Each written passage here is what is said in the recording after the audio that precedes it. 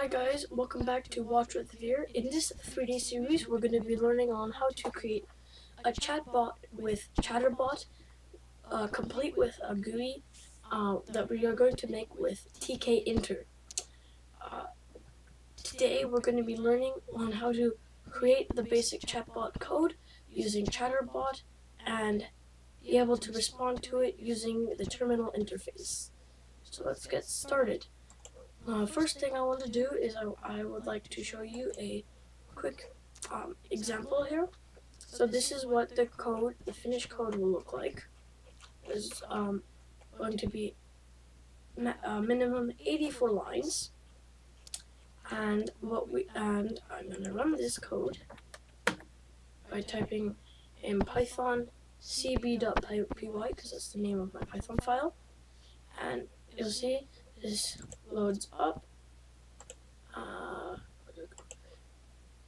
now, if I type in something here like hello, and then I click on this enter button right here, it'll give me a response in this box here.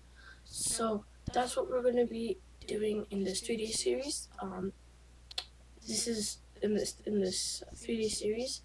Uh, today, what we're going to be doing is having that happen in the terminal interface here. So let's uh, get right into it. So first I'm going to create a new folder and I'm going to call it tutors for tutorials. Select the folder and then it'll open up folder in uh, Visual Studio Code. And then now what we're going to do is we are going to uh, now what we're going to do is we're going to create a new file and name this main.py enter now it'll open up the editor here now what we want to do is um, well, before we import Chatterbot and OS, uh, we want uh, we want to go into the command prompt.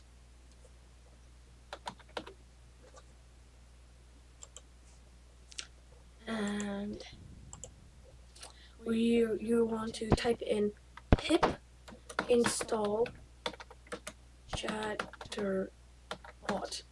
Um, if this comes up with an error saying pip is not available or uh, if it doesn't come up, if it comes up with an error saying um, no variable named pip or something like that, type in Python and if you don't have Python, then what you want to do is you want to go to Google Chrome and go to, or whatever browser you have, and go to python.org and download it, uh, and download the 64-bit version of Python for whatever operating system you have. Um, I'm running it off of Windows, that's why I have command prompt. So I'll go ahead and I already have Python installed on my Mac, on my Windows, so I'll just go ahead and press enter. And it, if this, and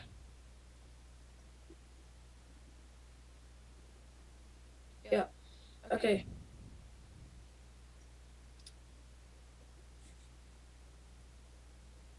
Okay, so I have now installed pip. It went through. It said um, requirement. Uh, if it says requirement, for me it says requirement always already satisfied. That's because I already have it in. I already have it installed on my Windows. Then what you want to do is you want to go pip install chatterbot dash or plus and then enter.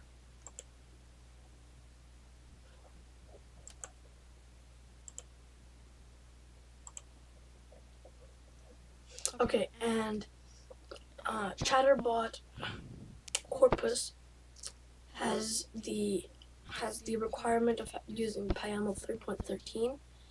So if it gives you just this error here in red, ignore that. Oh, that's fine. No, we and then once you're done that, we can close down uh, terminal or command prompt. Then for the first line, what you want to do is we want to start importing our modules. So go from chatterbot dot trainers import list trainer. Then the second line you want to go from uh, chatterbot import chatbot. And on the third line you want to import OS. We'll get that into that later. Then make a space and then uh, create a comment. Uh, comments in Python are with the hashtag symbol. Uh, comments in JavaScript are the uh, two forward slashes, but we want hashtag that'll um, define the comment. Then you want to write uh, train the AI. You don't have to put this comment. I just like doing this because it makes it a little bit more organized uh, for your code. Uh, then what we want to do is um, underneath it we want to define the bot. So bot equals, so bot is a variable, uh, chat bot, and then in this we'll name our uh, bot something. So for example, we could name it test. Uh, I'm gonna create call it uh, tutor. You can make you can call it whatever you want. Um, I'm just calling it tutor because this is a tutorial, not really a test or anything. Um, then what we want to do is then we want to define the trainer. So we go trainer equals list trainer. And then you pass in the um, bot. So we go bot. And then next and then we're gonna add a for loop. And then for underscore file um, in this is why we needed to import uh, OS uh, OS stands for operating system. So for underscore file in os dot list dir and then um, here it, we need to end pass through a folder. So uh, say let's call it txt for like the txt file extension and then that should be in quotes enter colon and then enter. Then what we want to do is we want to create a new folder and call this txt. Click enter. We can we just need to we can have it empty for now. Then enter here and go create a variable called chats equal open. And then uh, quotes.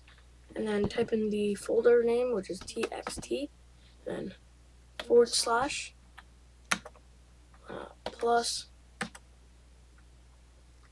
underscore file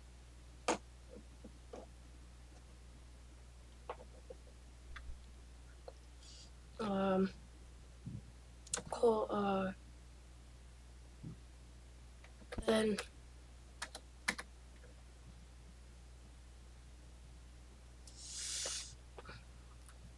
um, a colon, I think? No, an apostrophe.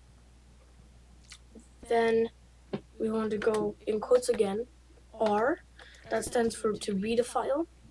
Then you want to, outside of the parentheses, you want to go dot read um, lines, and then a pair of parentheses, and then um, then you want to write trainer dot train and then pass to the variable that we just created uh, called chats. So that'll train the AI.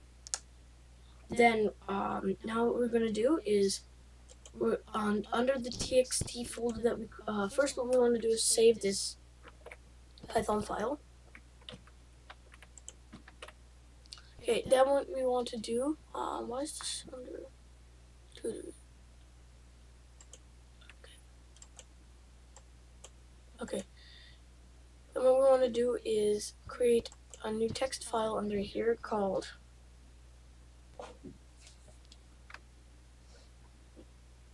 um, test.txt and then what we want to go is uh, right? So here we're going to be creating the uh, the different files that will give back that will check your um, input and double check that with these files and then it'll so what these uh, so what will happen here is when you input something it will well first what will happen is when you run um, main.py this will be run uh, this will run and that will train the chatbot. And when it trains the chatbot it will create a database in the format db.sqlite3 and that and that database will contain all the text files that are in the folder called txt so then when you then uh, so what we're gonna do here is we're gonna hello is the user input and then we could say hi I am hi uh, apostrophe this is a test. And oh what is your favorite song?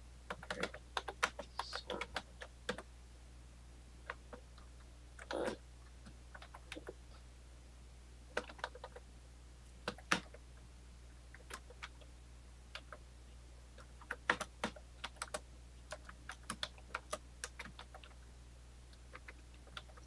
uh, then. I'm just doing this. Okay, I have I had to put that there so I don't get copyrighted, and then save this, and then we'll go back to main.py. You can close this tab down, and then what we're gonna do is we created a for loop. Now we're gonna create a while uh, loop, and then while, and then above this we want to create a variable equal to true. And that way we just go D and enter. So that's while true. And then what we're gonna do is we're going to create um, two variables uh, request.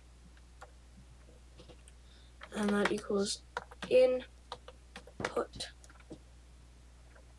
and then in quotes you go you because that's your that's the user. And then response equals then response equals bot dot get um, response and then we're going to pass in the variable request and then we're going to print response print and then bot bot and then apostrophe response. Okay so that is it for the basic code for the uh, Python for a Python chatbot using Chatterbot uh, in the next uh, video, we are going to, oh, in the next video, we're going to be looking at how to create a, um, we're going to be looking at how to create a basic GUI, uh, not for this uh, code, but so that we can take to create another GUI that uses the types of things that we need for our Python, uh, Python chatbot. And yeah, before we before I uh, stop this uh, video, uh, I'm going to uh, run this code for you to show you what it will look like. Now, we only have one um, test, we have only one file. Uh, so it will only, it won't be the best chatbot to be, to create more, so, and over the next two days, we will create um, more text files and make a fully operable chatbot that you can talk to using your keyboard and mouse. Okay, so terminal in VSC is taking forever to load, so just open up CMD and go CD ls is list then